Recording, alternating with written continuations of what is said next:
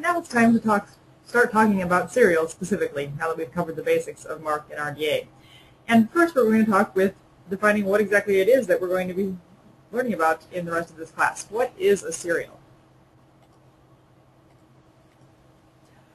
This session is going to cover a few different things. Um, one, where do serials fit in the world of continuing resources? How does serials cataloging differ from cataloging monographs, which are books, and integrating resources, which are a different type of continuing resource? Um, we'll talk about what are some identifying characteristics of serials. How can you tell if you have a serial to catalog? And then we'll touch on what are some MARC fields used in the records for serials. Here is kind of a graphic representation of bibliographic resources, so you can see where serials fit in the scheme of things. First of all, the universe of bibliographic resources is divided into finite resources that are published with a set number of parts, and continuing resources, which are ones that keep being issued continuously with no endpoint in mind when you started. So you can have you know, a monograph, which is one volume, and that's a finite resource, or something can be multi-part, like a four-volume encyclopedia, but if they're all issued at once with, or even not at once, but you know there never was any intent to publish more than four volumes, that's still a finite resource. Continuing resources, on the other hand, keep going. They continue just like it sounds.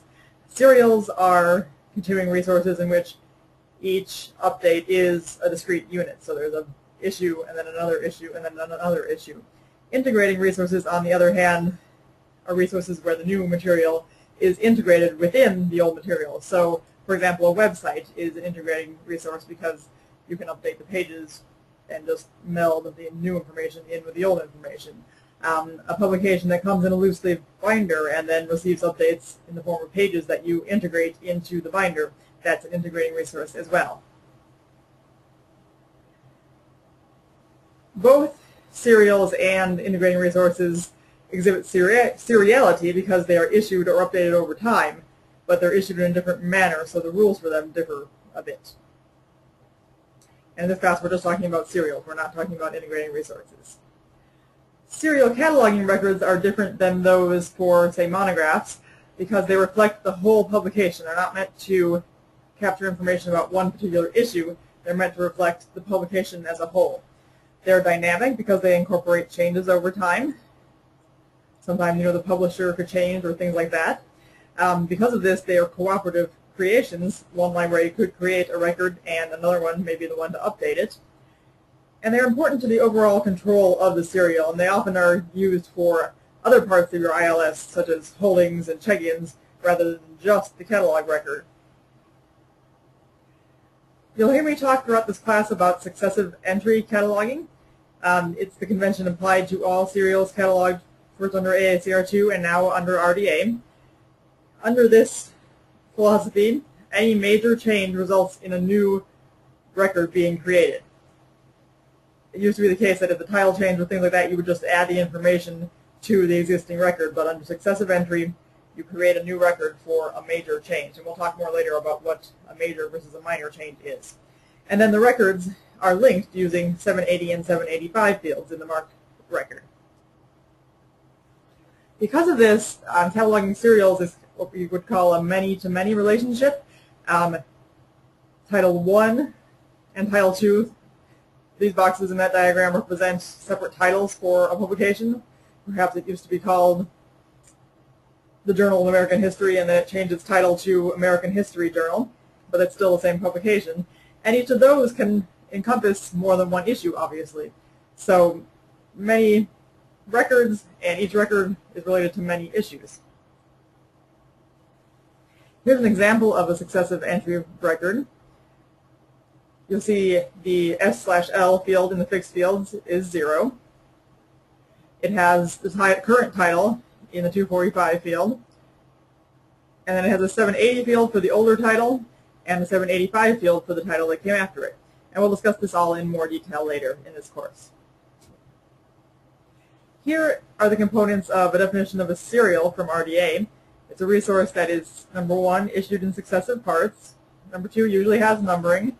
And number three, has no predetermined conclusion. So when they started publishing it, they didn't plan on when it would end.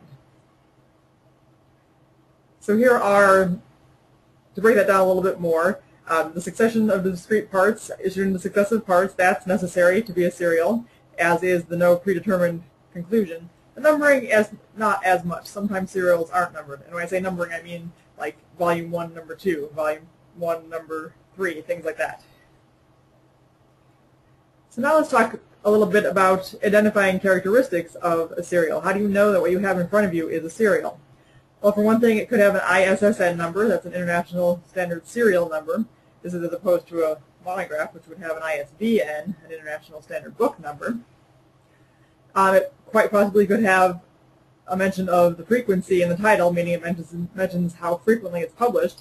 Things like AB Bookman's Weekly, or an annual report, or Yachting Monthly. This indicates that it comes out at a regular frequency. Um, and then, like I said, numbering is not always there, but if it is, it's a pretty much a dead giveaway that it's a serial. Uh, things like Volume 28 or Spring 1997 tell you that this is one of many issues. And it could give you the year of coverage, especially for things like annual reports. Um, they might not have a volume and number numbering like a magazine would, but they would say, you know, this is for 1997, or for the fiscal year 1995, or something like that. Um, sometimes the identifying characteristic will be something that tells you they intend to continue publishing it. If it says it's the inaugural issue, you would assume that there are going to be other issues after it. One kind of gray area with this is a monographic series. Um, if you have uh, a series of items that are published individually as monographs, but they also exist together in a series, you could choose to create an individual monographic record for each item, or you could create a serial record for the series. So for example, with this information, this book is called Abraham Lincoln, the First American, but it's part of the Historical Bulletin series. You could create a record for it as a monograph under the title, or you, you could create a record for Historical Bulletin as a serial, or both. Finish up for this video, let's talk a little bit about MARC fields that you'll see in serials that might be different from monographic records. And we are going to talk about these in much more detail in the coming weeks, so this is just an overview. Here is a view of the fixed fields for serials. Uh, if you're familiar with using OCLC Connexion or CAT Express, then you are familiar with this breakdown of fixed fields. And the ones that are significant for serials are highlighted in kind of the orangish pinky color. Um, bibliographic level, is the BLVL is S for serial. We talked about the S slash L, the successive or latest entry. Zero means a successive entry, which all records created under AACR2 or RDA will be. The serial type, the SRTP, um, you'll usually see it as P for periodical. Um, frequency, FREQ, and REGL for regularity. Those are not filled in in this record, but they should be for serials. Um, frequency is how often it comes out, and regularity is whether or not it regularly adheres to this frequency. On the DTST, the date status field, will usually be C, because that stands for continuing resource. And then you'll have two dates in that dates, those dates fields next to it. Um, the first one will be the starting date, and if it's a currently um, continuing resource, the second one will be 9999 to indicate that it's still going. Um, if a publication ceases, then you would change that date status field to D and put in the year that it ceased in that second date area. Um, some differences with serials. Um, an 022 is where the ISSN goes. Um, the 042 is where you might see information about who created this record. Uh, if you see that PCC code, that means it's the Program for Cooperative Cataloging, which is a program from the Library of Congress where other catalogers create records for them. In addition to the usual 2XX fields that you would see in a monographic record, um, sometimes you'll see a 210 and 222 fields. Those are a key title and an abbreviated key title.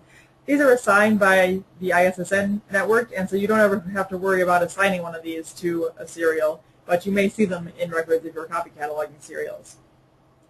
As far as the publication information goes, in your 264 field with the subfield C, if the item is currently still being published, you'll see a first date with a hyphen after it to indicate that it's still being published. If it's not currently being published, you will see a second date in there to close out the date range. In the 300 field, rather than seeing the number of pages, you just usually will see the word volumes to indicate that this thing is issued in multiple volumes. When the serial is finished being published, sometimes people will put in the total number of volumes published over the course of the serial.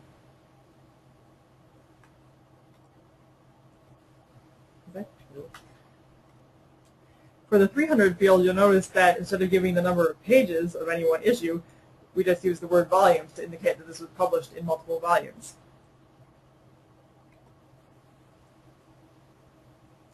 You will also see a 310 field to indicate the frequency of publication.